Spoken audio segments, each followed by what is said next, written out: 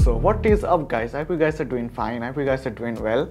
With that being said, in this video we're going to talk about a new tutorial which is this one.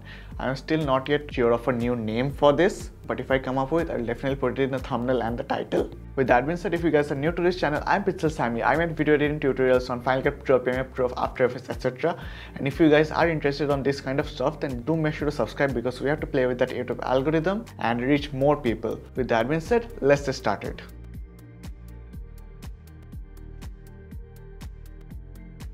So this is a very cool effect and it catches your attention a lot because I'm sure if you guys have seen the intro, you guys are already interested on how to use this and made this effect. So how to do that? It is super simple. If you guys are using Final Cut Pro or Premiere Pro for that matter, it is available for both of them. This is not a effect, this is not a preset. You can do this manually and you guys have loads of freedom if you guys are doing it manually rather than having a preset.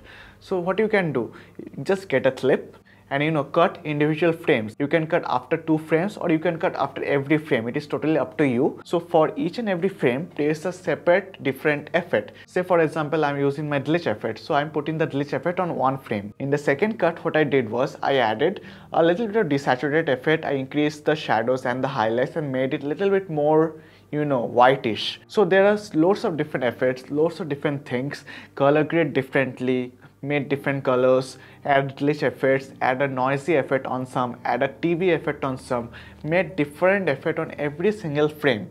And then after that, add a film roll sound effects. This film roll sound effect which I used is from Epidemic Sound. The link is there in the description below if you guys want to.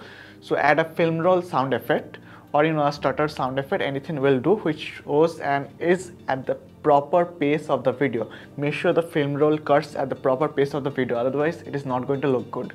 So once the sound effects and everything is synced up properly and done you are good to go.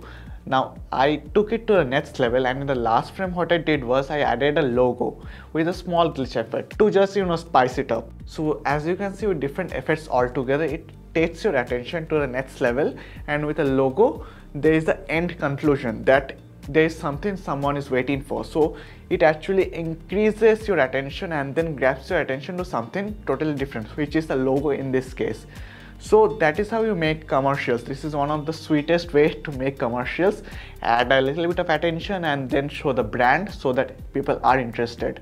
So this is one of the efforts. Hopefully by this when you are seeing this video i came up with a name for this. If i don't uh, sorry for that maybe frame by frame effect i don't know. So let's see. With that being said that is enough for this video guys. If you guys like this video then do make sure to subscribe comment down below and tell me what you guys think about it.